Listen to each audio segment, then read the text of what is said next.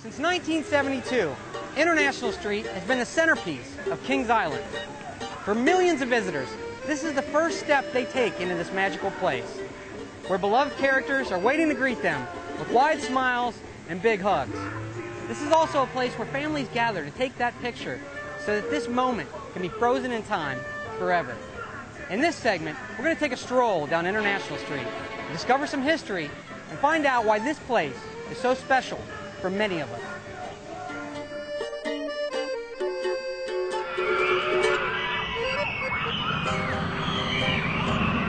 Two or three things that Coney Island did not have that were the wave of the future. Coney Island experimented uh, in terms of when you got on the rides, how you paid. In, in the 40s and 50s, uh, you paid cash. If you wanted to ride a coaster, you paid a quarter. Then we went to a universal ticket system.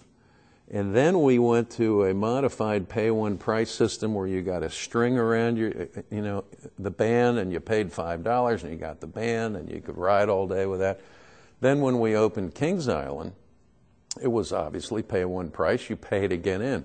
Now I got to tell you, uh, Coney Island those days, it cost 50 or 75 cents to get in the park and we're announcing this new theme park where it's going to cost $6 to get in the park. And I'll tell you, we had a real public relations nightmare in front of us because, number one, the world loved Coney Island. Cincinnati absolutely loved Coney Island. They loved the Island Queen. They loved the swimming pool. They loved Moonlight Gardens. Everybody grew up there. They fell in love there. You're going to tear all this down and get rid of it? You're crazy. And then you're going to build something up north and charge us $6 to get in.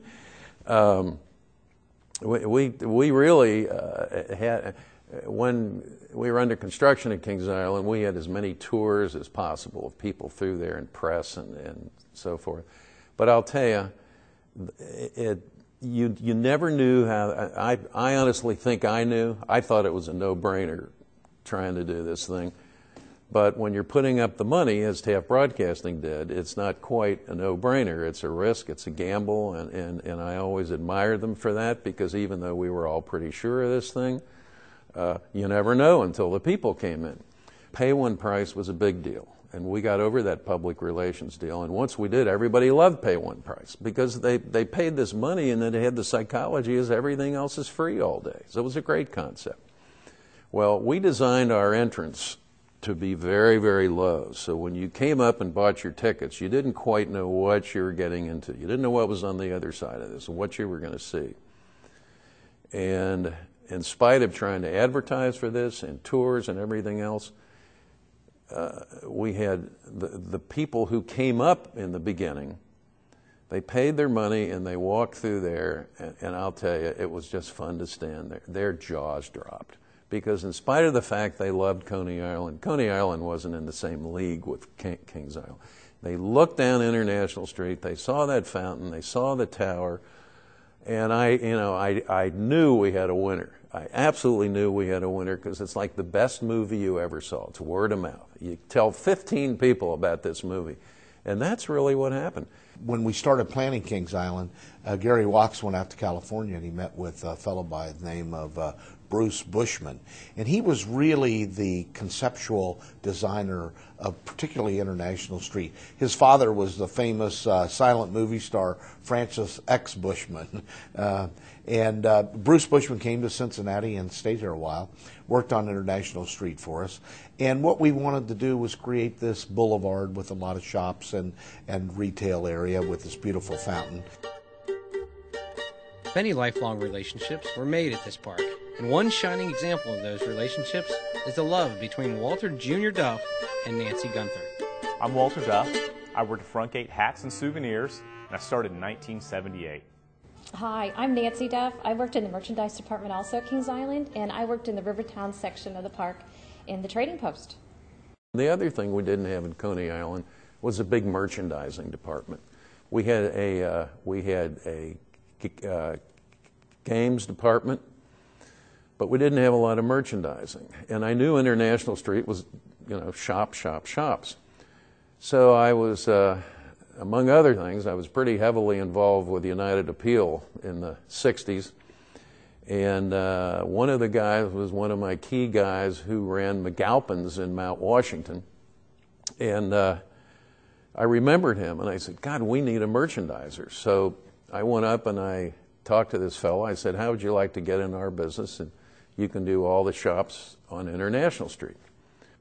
Uh, the great thing I loved about working uh, front gate shops were every day I had a great view of the uh, International uh, Eiffel Tower, and I got to see the air show every single day. So most people don't remember, but they had parachuters, they had the uh, dog fights, they had hot air balloons. So uh, about five o'clock or seven o'clock, somewhere in that time range, every day I got to see the air show. International Street was uh, very unique, I think, for the time, especially for Cincinnati and a few of the theme parks.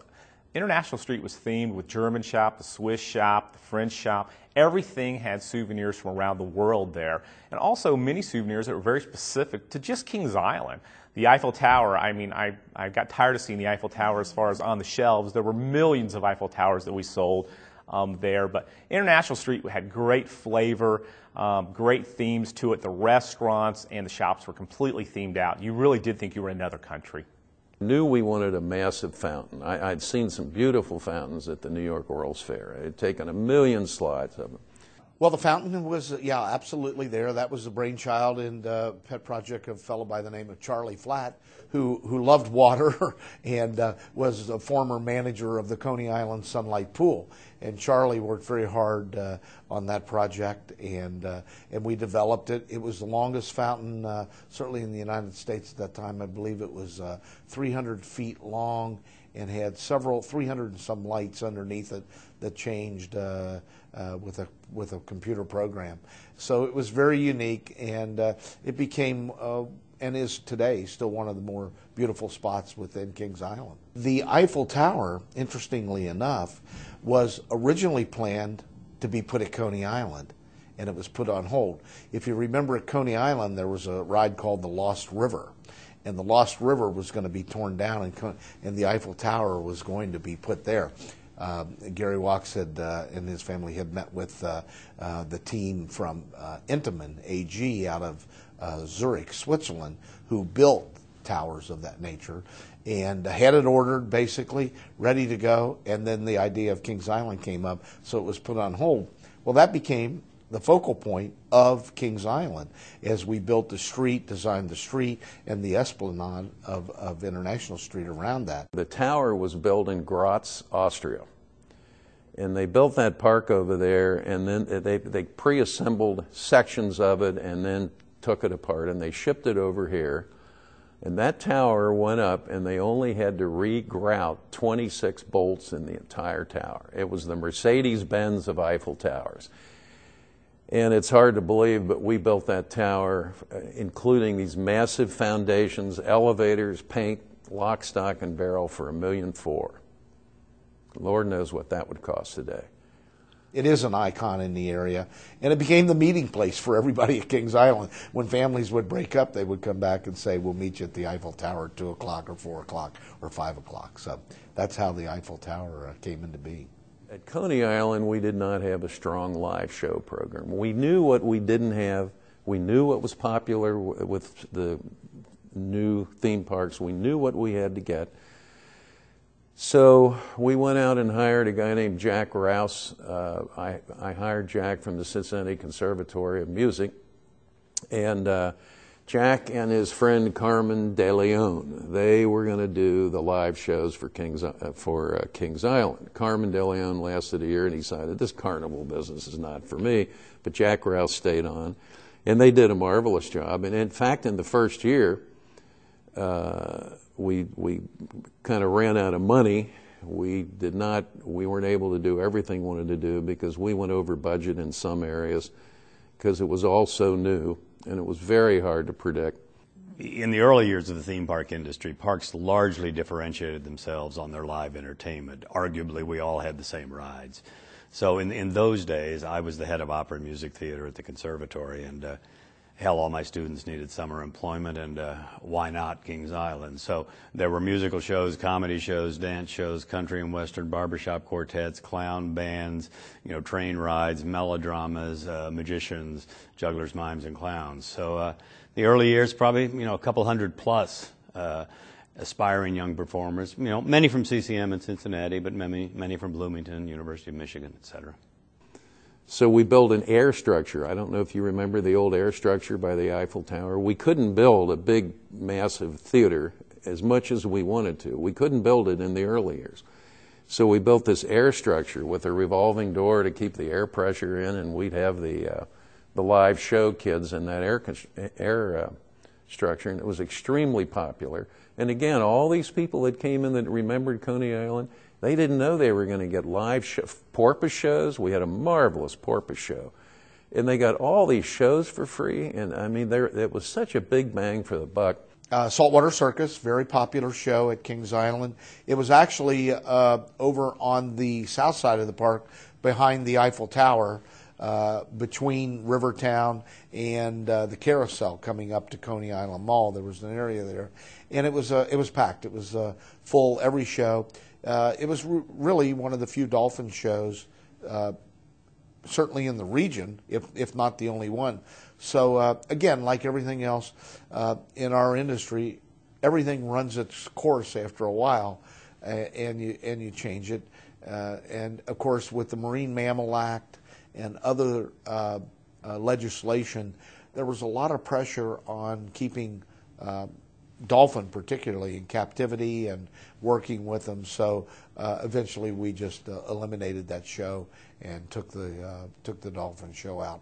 You know, over the year, there's been uh, a lot of famous Cincinnatians. I guess the most notable that everyone would recognize today would be Carmen Electra. At the time, she went by Tara Patrick, and uh, she was a dancer in our stage show It's Magic in 1990. So, uh, you know, she's gone on to, to a level of fame. Uh, but she also had, you know, going back to the 70s, uh, you know, Miss America Susan Perkins was a performer in 1978 at the park. Uh, you had Susan K. Johnson in 1987. She was Miss Ohio. She was here in the mid 80s, you know, for a couple of years working in our stage shows at the International Showplace Theater. Uh, Nick Lachey, you know, he was a performer here as well with the Barbershop Quartet in you know the early '90s. So you've had you know a lot of people like that that have kind of come through. Then a lot of people that, you know, y- if you work in the industry or something, you may know who these people are. You know, whether they work at the Clear Channel like Chuck Ingram, uh, was a guy that worked here. Janine Coyle from WGRR. So there's been a lot of people over the years that have worked at Kings Island have gone on to bigger and better things. I tried to. I mean, I had hopes and dreams and you know, wanted to move to either New York or Hollywood and, and try to start a career. I think when whether you're a dancer or an actress or a musician working in entertainment, you, you have to follow your heart. You have to you have to go with it. And I, you know, saved up my money from working here, which, you know, was a little little bit, and um, got on a plane and flew to Los Angeles and just decided to go for it.